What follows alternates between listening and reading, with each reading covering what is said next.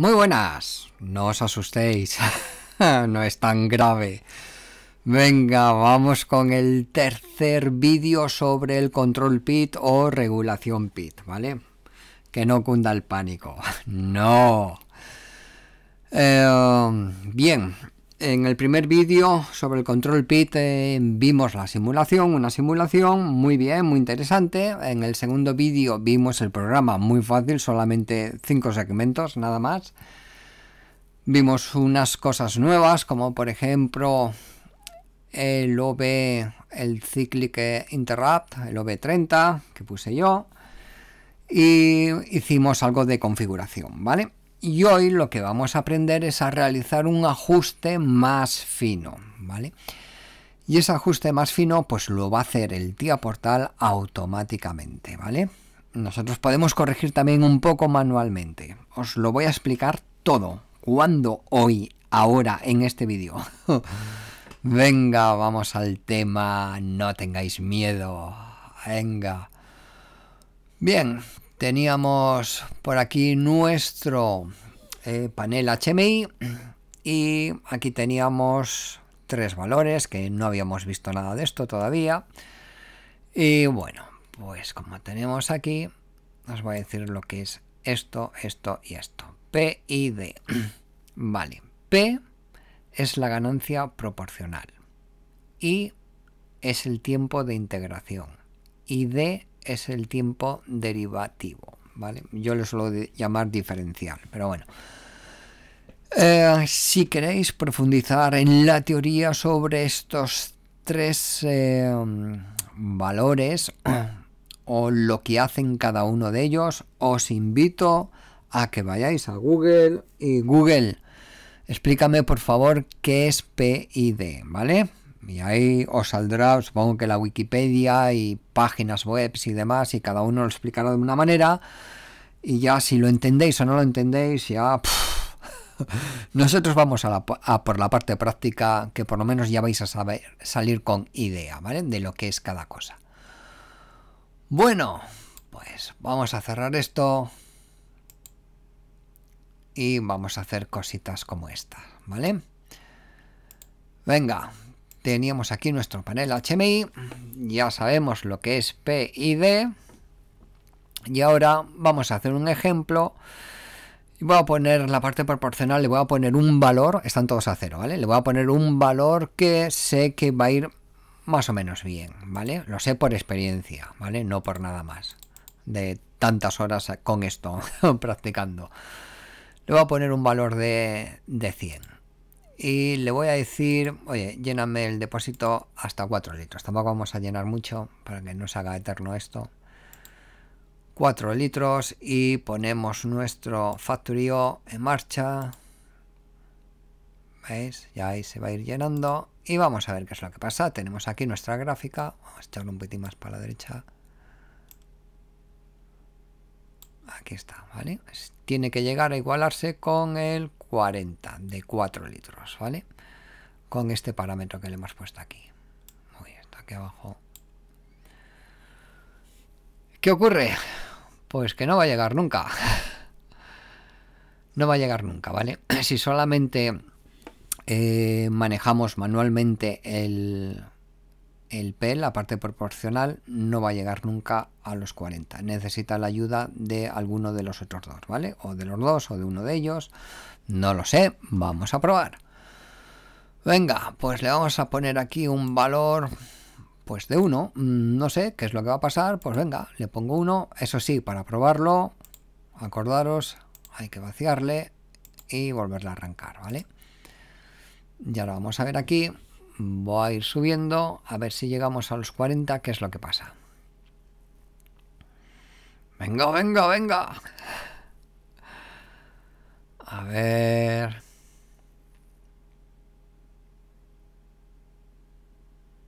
Bueno, nos pasamos...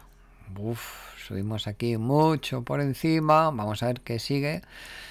tenemos que tratar de solapar la línea roja con la línea negra. La línea negra es el valor este, debe ser, que le hemos puesto nosotros de 4 litros, pero como veis difícilmente lo estamos solapando, ¿vale? Nos pasamos por encima, bajamos, pasamos por encima, bajamos, difícil, ¿vale?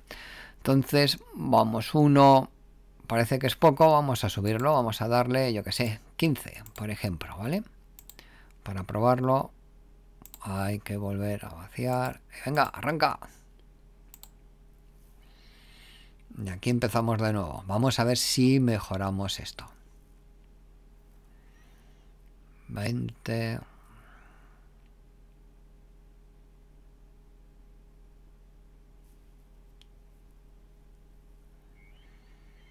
Bueno, parece que... No va mal. Está muy... Está muy bien. Está muy bien. De esto se trata. De esto se trata. De llegar así y solaparnos así. Está muy bien. Es más, yo lo dejaría ya así. No tocaría nada más. ¿Vale? Está muy bien. Pero aquí tenemos otra parte más, la parte derivativa, Esta es la parte más sensible de todas. La voy a tocar para que veáis qué es lo que pasa, ¿vale? Pero ya os aviso que yo lo dejaría así, no tocaría nada. Vamos a poner un 1 y vamos a ver qué es lo que pasa. Vamos a cerrar esto, le volvemos a abrir aquí empieza, bueno, ya os podéis hacer una idea de qué es lo que va a pasar. Mola, ¿eh? Esto realmente está muy, muy bien.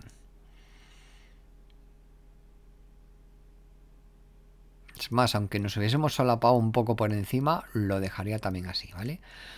Pues bueno, fijaros que no le he puesto nada y fijaros lo que pasa, ¿vale? Esto es una locura. Y esto en la realidad lo veríamos así. ¿Vale? Así. Esto es una chapuza. No se puede hacer esto con el cliente, ¿vale? Bueno. Tendría que bajarle, no sé, a 0,1, pues posiblemente... Mm, tampoco creo que lo consiguiese con 0,1, ¿vale? No lo sé. Habría que probarlo, pero ahora os voy a enseñar otra manera. Esto lo dejo a vosotros para que lo probéis, ¿vale? Os voy a enseñar también cómo se hace esto manualmente, donde se puede ajustar estos parámetros eh, manualmente, ¿vale? ¿Veis? Esto es una locura. Eh, para ello, vamos a parar esto. Epa. Para. Y vamos a ponerlo todo a cero.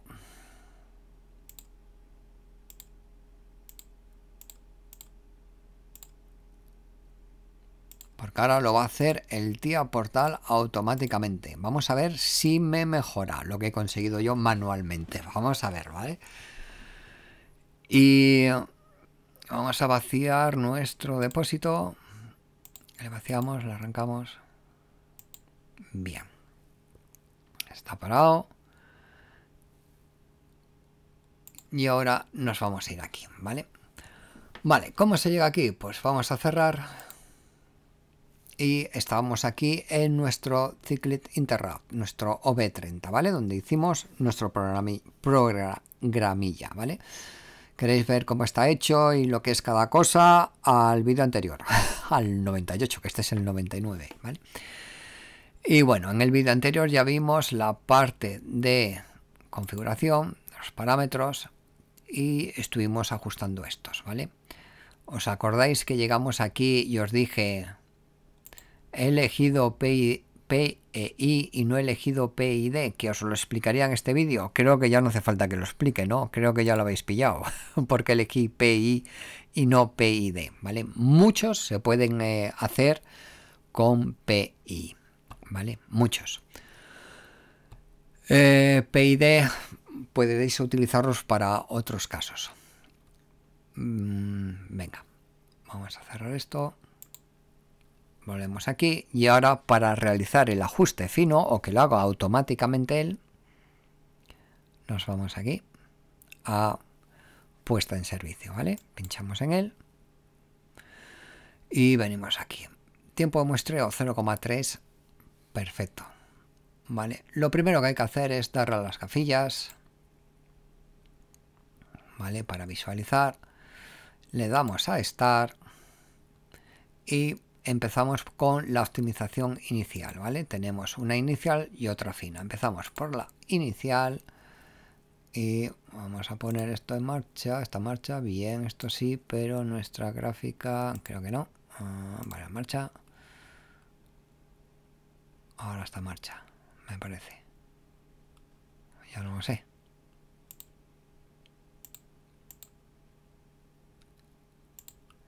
Venga. Y le damos a estar. Y ahí veis, progreso.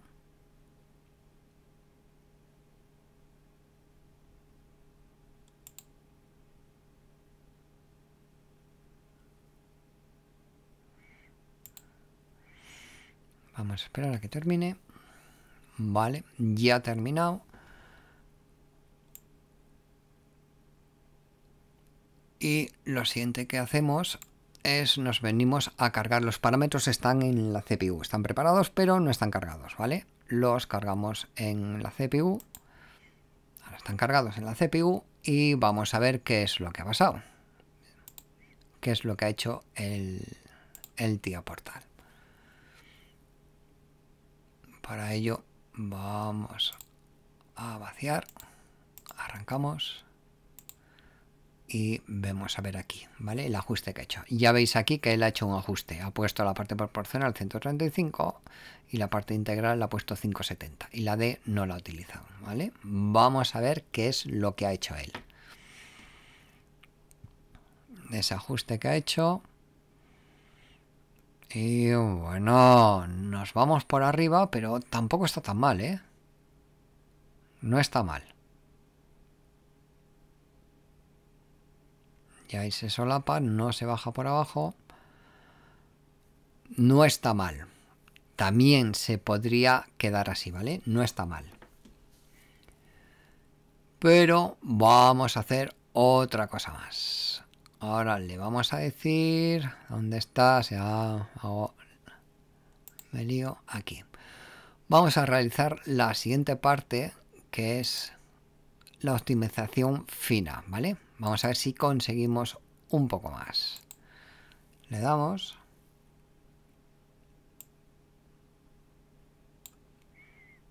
Esta parte suele durar un poco más. Ahora veremos a ver por qué. No, ¿por qué no? suele durar un poco más, ¿vale? De tiempo, venga. A ver que termine.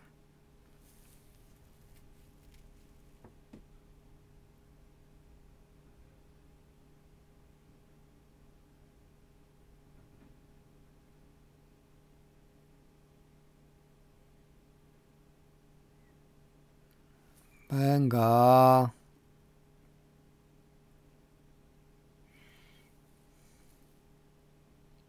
veis aquí.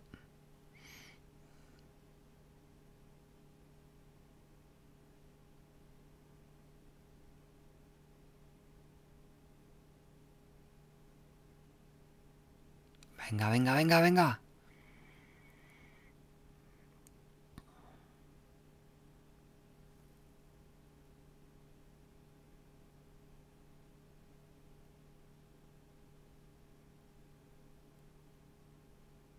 Venga, por Dios. Suele tardar unos dos minutos. Venga, venga, venga. Termina. Si vuelvo a empezar lo pongo en pausa. Ya está, ¿vale? Ya ha terminado. Acordaros siempre de que no está cargado en la CPU, ¿vale? Hay que cargarlo en la CPU, ¿vale? Ahí lo cargamos en la CPU y vamos a ir a parámetros, en este caso, también podéis ir y llegáis aquí, ¿vale? Y aquí es donde veis los parámetros que ha utilizado él. Ha corregido este, la ganancia proporcional y el tiempo de integración los ha corregido. Y el tiempo derivativo no lo ha utilizado. Bueno, aparte porque lo tengo yo en PI. ¿Vale? Podéis tocar esto. ¿Cómo tocáis esto? Poniéndolo manual, ¿vale? Y ahí podréis tocar, ¿vale? Es la manera. Yo lo hago con el panel HMI, vosotros podéis hacerlo así, ¿vale? Bueno, ahí se queda. Y vamos a probar qué es lo que ha hecho el... Vaciamos, lo arrancamos y vamos a nuestro panel HMI para verlo. A ver si el ajuste es mejor, lo que ha corregido. Ya estamos terminando, ¿eh?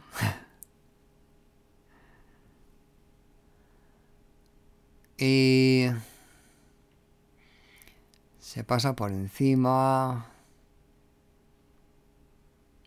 Y ahora se para no está mal. Ahí se solapa baja un poquitín por abajo parece. No, no, se solapa ahí. No está mal, se podría quedar así, pero como habéis visto, no siempre la parte automática de Tía Portal es perfecta, ¿vale? Habéis visto que manualmente he conseguido que se solapara perfectamente. En fin, os lo dejo a vosotros. Ya sabéis, resumiendo, eh, quitamos este. Si lo queréis hacer manualmente, os venís aquí. ¿Cómo llegamos aquí? os lo explico. ¿vale? Esto lo cerramos también. Para recordar, venís aquí, dentro del bloque PIT, el PIT compat. El PIT compat lo podéis utilizar en el 95% de, de los controles de PIT que vayáis a hacer, ¿no? ya sea de temperatura o de cualquier otra cosa, lo podéis utilizar en, en 95% de las instalaciones.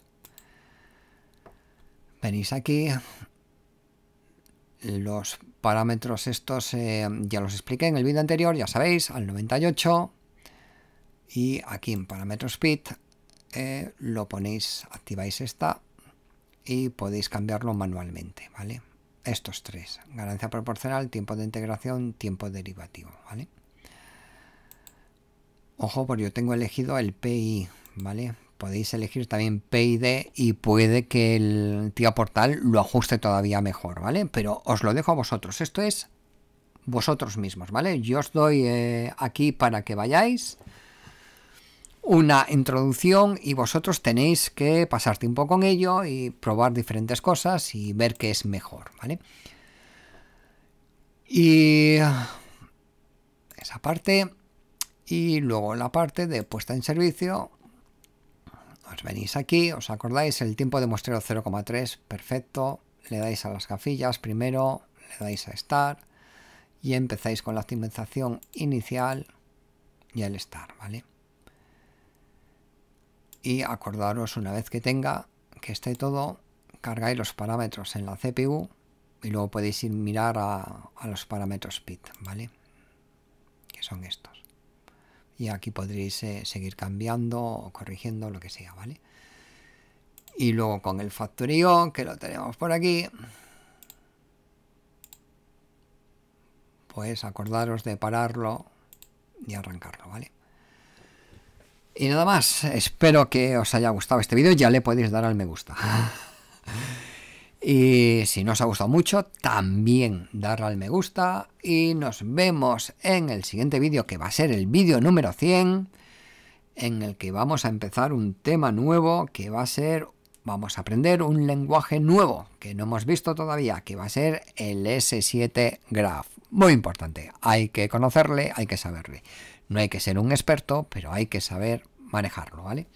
y cuando nos encontremos un programa hecho en S7 Graph hay que saber, eh, al verle hay que saber cómo funciona, cómo está hecho, perdón, y demás. Pero eso lo vemos en el siguiente vídeo, en el vídeo número 100. Bueno gente, pues nada más, que paséis un buen día y nos vemos en el siguiente vídeo. Venga, hasta luego.